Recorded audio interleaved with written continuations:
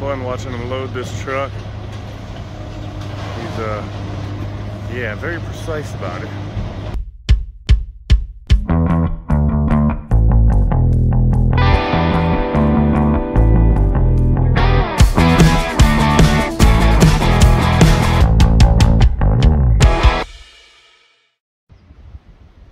Hello everybody.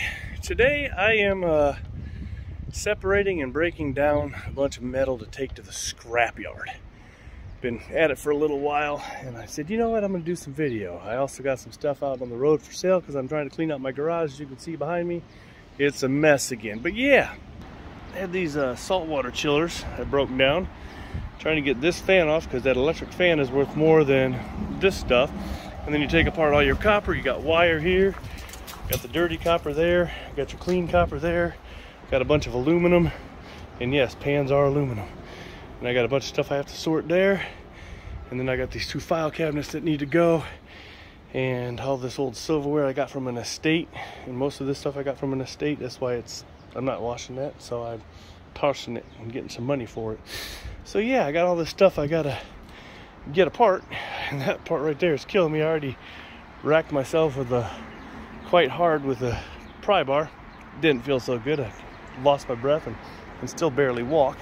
I'm not gonna tell you where I hit myself, but I'm sure you can figure it out by the way I'm talking. But anyways, so yeah, this is all iron and steel, so it's not worth as much. All that I sat down in my chair, I just got it, broke.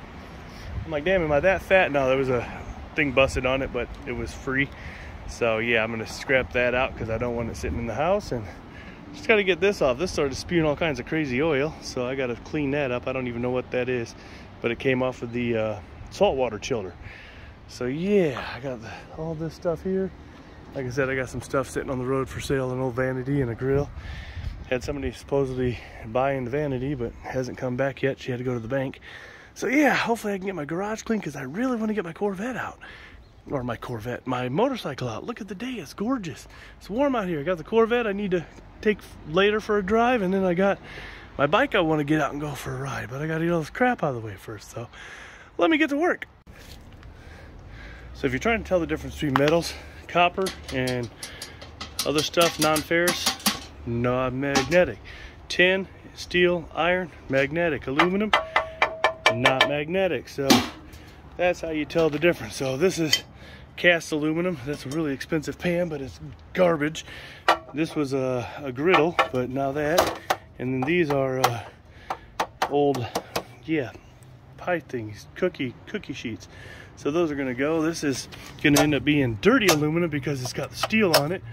Actually, that's aluminum too, good. This one's gonna be dirty aluminum. So yeah, actually that one's magnetic, so that whole thing is steel. So there you go. That's how you tell the difference so you can separate your metals and get more money. So I got these old bicycles and these uh, tins here. Those are all going into the uh, regular metal out back. And then, like I said, and then I've got all this stuff. I still have to sort this box, but you can tell I've got quite a bit of good stuff here. I got tin, which goes out back. Actually, I don't even know what that is. I have to check it. It might be aluminum. But all this is all silverware, which is nasty. All that's going to the uh, out back because it's magnetic, so it's stainless steel. So it's not much. Got a finish going. Oh, this is my aluminum. There's a lot of aluminum in there, so even the cans, all the weight adds up. So get what you can. Haha, can get it? Never mind. Bad joke. Um, clean copper, dirty copper, electric motors. Electric motors are, I think, like uh, I don't even know a dollar something a pound, or I don't even know what they are. This right there is like three bucks a pound right now. Got your dirty copper, which is the wiring. It goes for a different price than this dirty copper, which is, yeah, I don't know how to understand it. Got the two file cabinets I got to get out of here. Um, I needed them, I wanted them. Now I don't have room for them, don't need them anymore because I got other stuff. So these guys are gonna go. And then that box has got to, or that tote's got to get put away somewhere back there. And make sure you wear gloves because I cut myself pretty good right there. It's deep, but it's not big, but it hurts like the dickens. So yeah, plus your hands get dirty with all the rust and oil and got a big spot of oil in my driveway now I gotta clean up. So there you go. And uh, once I get all this in the car tomorrow, because I'm just sorting it today, so I can do all this tomorrow because it's Sunday and they didn't open yet. So they're closed on Sunday. So once I get it all into the car and to the scrapyard, I'll show you what this is, uh, see if it's worth my time and you guys make up your mind. Another little tip for you, if you got stuff like this that has ends on it, is just snip the ends off with some wire cutters or tin snips as I'm using because uh, yeah, just cut those ends off and that little bit of wire is worth more than it is with that. So if you tip, cut these ends off, if you're that, you know, like me, I like to cut things off, but I'll show you here in a second because I can't do it with one hand. There you go, you cut the ends off, the ends off. This wire is worth more now than it is with the ends on it because these are basically plastic. If you break them open, there is some metal on the inside. So I just toss them in the steel stuff and they don't know the difference because it's going out back. So yeah, that's one little trick to it. And your aluminum cans are another good one. Those are always good to have because people don't realize how much they add up. Make a lot of money off of aluminum cans. So I'm going through my stuff, didn't realize I had this. Shoot, that goes for 40 bucks on eBay. So guess what I'm gonna be doing? That's not going to the scrapyard. That's going to the, uh, yeah, that's going to the uh, eBay store. So I've had this old recliner sitting in my yard forever. I tried giving it away, nobody wanted it. So now I'm pulling all the screws out because this is all metal. That's about 30 pounds of iron right there. So you might as well go ahead and break it down and put it with all this because it doesn't seem like a lot, but when you add all this and all this, and these are really heavy, I got a couple hundred pounds of, probably about close to four or 500 pounds worth of metal. And I don't even know what the price of pound is right now, but you know, 30, 40 bucks adds up. Well, look at it.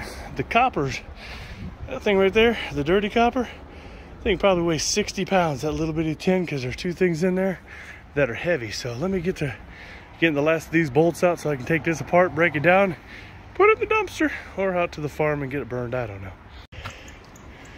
Took the metal out and that thing collapsed. Just shows you how cheaply things are made. It's all made to be broken and thrown away which is sad because this was like a $500 chair. So at least I'll get, oh look, ain't that pretty? Big old centipede. So yeah, this gets to be, yeah, that's garbage. I got a little bit of metal left on that, but I don't even worry about that. It's like not even a half an ounce. So yeah, I gotta take break this apart and get it gone. So my pile's ever growing. This only weighs about 10 pounds. That's 30 pounds on a 40 pound chair. Yeah, so I got all this stuff here. Got everything else in the garage, the expensive stuff. I gotta block this off so nobody steals it tonight before I can get it in the car. And then tomorrow morning, we're gonna take all this down to the scrapyard and see how much money we can make. So it's supposed to rain tomorrow, so I got everything in the car now so I can take it. So I got all of this entire back, which goes all the way up to the front and it's stacked and then I have all the really expensive stuff right here. Plus there's a whole bunch of uh, I'm not opening that door a whole bunch of copper right there. So tomorrow I get to find out how much money I make. I'm sure it won't be much but it at least pays for gas and maybe help me cover lunch or something but we'll find out. So I'm heading to the scrapyard here in a second. As you can see the car is completely full. Plus there's more on the passenger seat, so Ramblin couldn't come along. I barely got the seat back enough to drive, so this ought to be interesting. So we'll see how much we get when we get there. I'll let you know. It's a busy day at the scrapyard. Unloading all their scrap into a big old semi. Then they got a new crane too. So you never know what's going on here. So we gotta wait. Gotta line the cars. It's starting to rain again. It's been on and off all day. I was trying to get out here in between the rain, but hopefully I make it because I got that car full. So we need to get this done. It's fun watching him load this truck. He's, uh, yeah, very precise about it. This is the main guy that runs it that's in it. I can see him. yeah, this is crazy how they're able to yeah, he's squishing it down. He picks up little pieces that might have, or on the edge, which he'll probably grab that piece right there that's hanging over. This is pretty cool to watch. I like this. It's a whole lot of fun. It's almost uh, mesmerizing.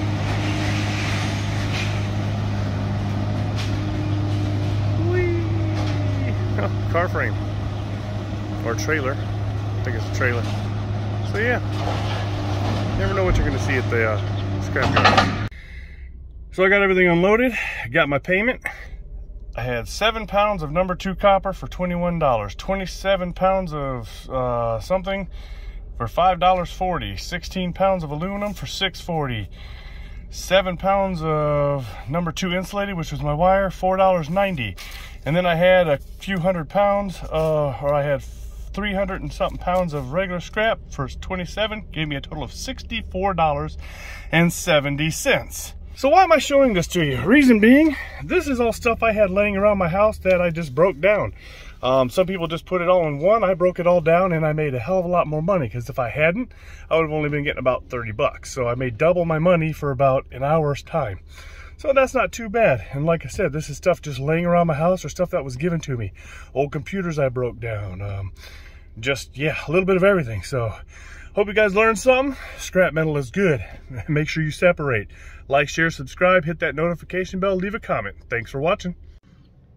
On a side note, found this little ball bearing, and I know I'm weird, but I have a collection of ball bearings and I think some bird shot in there, I don't even know.